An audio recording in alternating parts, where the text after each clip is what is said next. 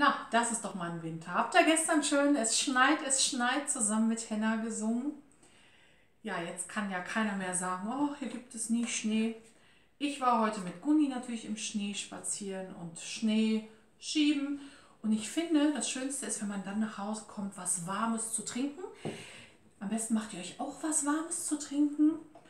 Und dann kann es losgehen zu so einem gemütlichen Tag zu Hause nach so einem Schneeabenteuer. Vielleicht habt ihr einen Schneemann gebaut, vielleicht seid ihr Schlitten gefahren. Finde ich, kann man so schön zusammen sitzen, was Warmes trinken, heiße Schokolade vielleicht und dazu Märchen lesen. Ich habe mal meine Märchenbücher rausgesucht, habe hier eins gefunden, Märchen aus aller Welt. Ich glaube, da werde ich nachher mal reinlesen. Ich habe hier einen interessanten Titel gefunden. Der Löwe und die Schildkröte. Finde ich eine sehr interessante Kombination, oder? Dann gibt es, es gibt auch Märchenbücher für Erwachsene. Wenn ich da jetzt aber das Märchen, um das es heute geht, vorlesen wollte, müsste ich zu viele Wörter weglassen. Also, ich kann ja mal den ersten halben Satz, der geht. Die ganze Story fing damit an, dass Whiteys schwerreicher Alter es nicht ohne Weib aushalten konnte. Und dann müsste ich jetzt schon, das geht nicht. Also Märchen für Erwachsene. Und dann habe ich mein Märchenbuch oder das von meinem Papa, das Märchenbuch. Nee, von meiner Mama. Meine Mama hat das besessen. Das, hat, das fällt schon auseinander. Und da habe ich das Märchen rausgesucht, zu dem es auch gleich ein Lied gibt. Und ich glaube, ihr kennt das Märchen alle. Es war einmal mitten im Winter. Ach so, habt ihr alle schon was zu trinken? Dann, drückt nochmal schnell auf Pause.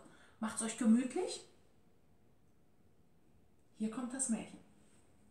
Es war einmal mitten im Winter und die Schneeflocken fielen wie Federn vom Himmel herab. Da saß eine Königin an einem Fenster das einen Rahmen von schwarzem Ebenholz hatte und nähte. Und wie sie so nähte und nach dem Schnee aufblickte, stach sie sich mit der Nadel in den Finger und es fielen drei Tropfen Blut in den Schnee. Und weil das Rote im Schnee so schön aussah, dachte sie bei sich, hätte ich ein Kind so weiß wie Schnee, so rot wie Blut und so schwarz wie das Holz an dem Rahmen. Bald darauf bekam sie ein Töchterlein, das war so weiß wie Schnee, so rot wie Blut und so schwarzhaarig wie Ebenholz und ward darum das Schneewittchen genannt. Und wie das Kind geboren war, starb die Königin. Über ein Jahr nahm sich der König eine andere Gemahlin. Es war eine schöne Frau, aber sie war stolz und übermütig und konnte nicht leiden, dass sie an Schönheit von jemand sollte übertroffen werden. Sie hatte einen wunderbaren Spiegel. Wenn sie vor den trat und sich darin beschaute, sprach sie. Wisst ihr, was sie dann immer sagt? Wisst ihr alle, oder? Spieglein, Spieglein an der Wand, wer ist die Schönste im ganzen Land? Und der Spiegel antwortet, Frau Königin, ihr seid die Schönste im Land. Ja, und wie geht das Märchen weiter?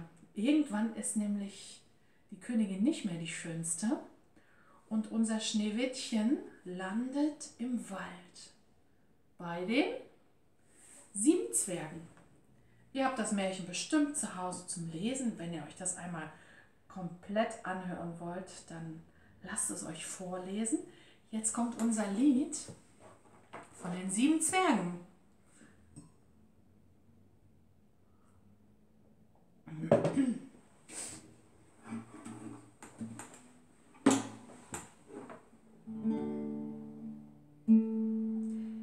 Bergwerk ein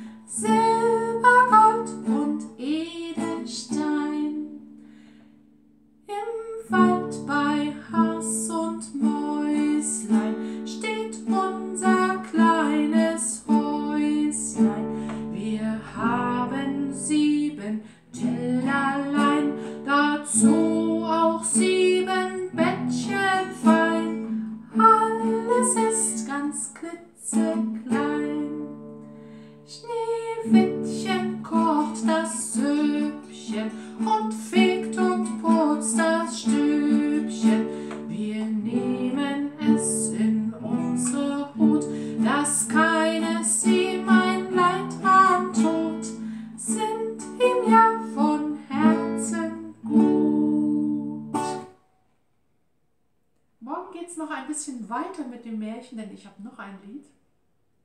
Die meisten Märchen nehmen ja ein gutes Ende. Und um das Ende geht es dann auch in dem Lied morgen. Viel Spaß noch im Schnee. Tschüss.